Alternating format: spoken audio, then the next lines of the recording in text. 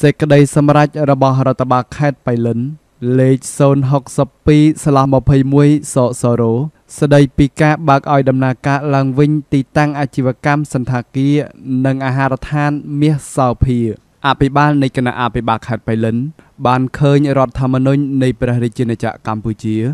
បានឃើញព្រះរាជក្រឹត្យលេខនសស្លាស់រកត ស្លាស់0918ស្លាស់925ចូលថ្ងៃទី6ខែកញ្ញាឆ្នាំ2018ស្ដីពីការតែងតាំងរាជរដ្ឋាភិបាលនៃព្រះរាជាណាចក្រកម្ពុជា បានឃើញព្រះរាជក្រឹត្យលេខនសស្លាស់រកតស្លាស់0320កុដស្លាស់421ចុះថ្ងៃទី30ខែមីនាឆ្នាំ2020ស្ដីពីការតែងតាំងនិងកែសម្រួលសមាជិកភាពរាជរដ្ឋាភិបាលនៃព្រះរាជាណាចក្រកម្ពុជា បានឃើញព្រះរាជក្រមលេខនសស្លាស់រកម៉ូស្លាស់0618ស្លាស់012ចុះថ្ងៃទី28ខែមិថុនាឆ្នាំ2018ដែលប្រកាសឲ្យប្រើប្រាស់ច្បាប់ស្តីពីការរៀបចំនិងការប្រព្រឹត្តទៅគណៈរដ្ឋមន្ត្រី បានឃើញព្រះរាជក្រមលេខនសស្លាស់រកម៉ូស្លាស់0508ស្លាស់017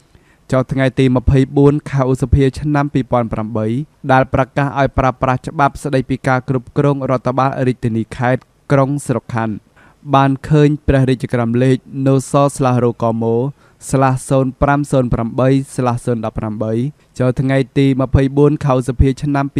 2008ដែលប្រកាសឲ្យប្រើប្រាស់ច្បាប់ស្តីពីការបោះឆ្នោតក្រុមប្រឹក្សារាជធានី ក្រុមប្រឹក្សាខេត្តក្រុមប្រឹក្សាក្រុង ក្រុមប្រឹក្សាស្រុក ក្រុមប្រឹក្សាខណ្ឌ បានឃើញព្រះរាជក្រមលេខនសស្លាស់រកម៉ូស្លាស់0321ស្លាស់004ចូលថ្ងៃទី11ខែមីនាឆ្នាំ2021ដែលប្រកាសឲ្យប្រើប្រាស់ច្បាប់ស្តីពីការទប់ស្កាត់ការចម្លងរីករាលដាលនៃជំងឺ Covid-19 និងជំងឺឆ្លងកាចសាហាវនិងប្រកបដោយគ្រោះថ្នាក់ធ្ងន់ធ្ងរផ្សេងទៀតបានឃើញព្រះរាជក្រឹត្យលេខនសស្លាស់រកម៉ូស្លាស់1220គុតស្លាស់1381 ចុះថ្ងៃទី18ខែធ្នូឆ្នាំ2020ស្ដីពីការតែងតាំងអភិបាលនៃគណៈអភិបាលខេត្តបៃលិន បានឃើញអនុក្រឹត្យលេខ216អណូក្របក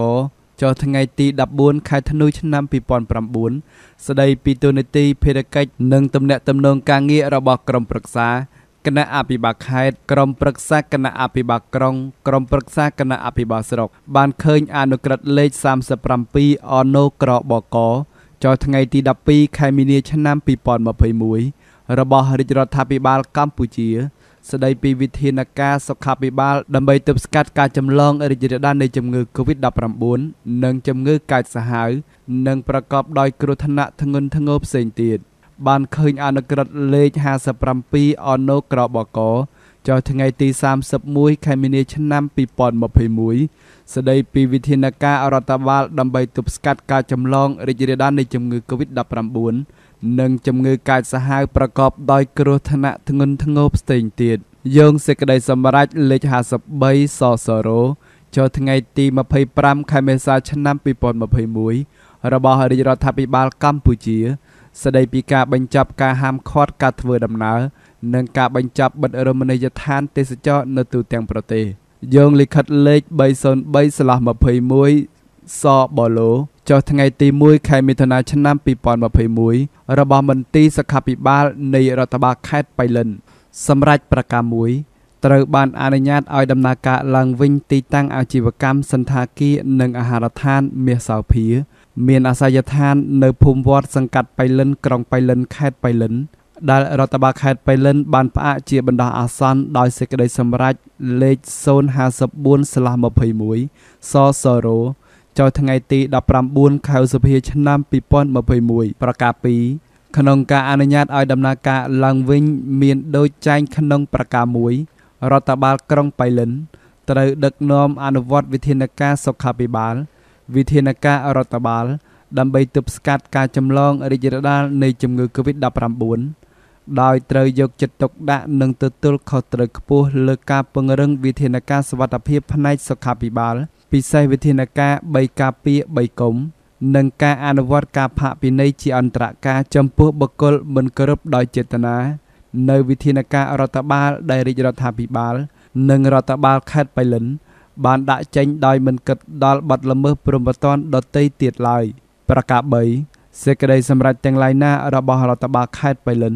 ដែលផ្ទុយនឹងសេចក្តីសម្រេចនេះត្រូវបានចាត់ទុកជានិរិះកប្រការ4នាយករដ្ឋបាលសាលាខេត្តស្នងការនគរបាលខេត្តមេបញ្ជាការកងរាជអាវុធហត្ថខេត្តមេបញ្ជាការតំបន់សឹករងបៃលិន ប្រធានមន្ទីរសុខាភិបាលរដ្ឋបាលក្រុង និងប្រធានអង្គភិបពាក់ព័ន្ធទាំងអស់ ត្រូវអនុវត្តសេចក្តីសម្រេចនេះឲ្យមានប្រសិទ្ធភាពខ្ពស់ ចាប់ពីថ្ងៃចុះហត្ថលេខាតទៅ ថ្ងៃអង្គារ6រោចខែចេសឆ្នាំឆ្លូវត្រីស័កពុទ្ធសករាជ2565ធ្វើនៅបៃលិន ថ្ងៃទី1ខែមិថុនាឆ្នាំ2021អភិបាលហត្ថលេខានឹងត្រា បានស្រីមុំ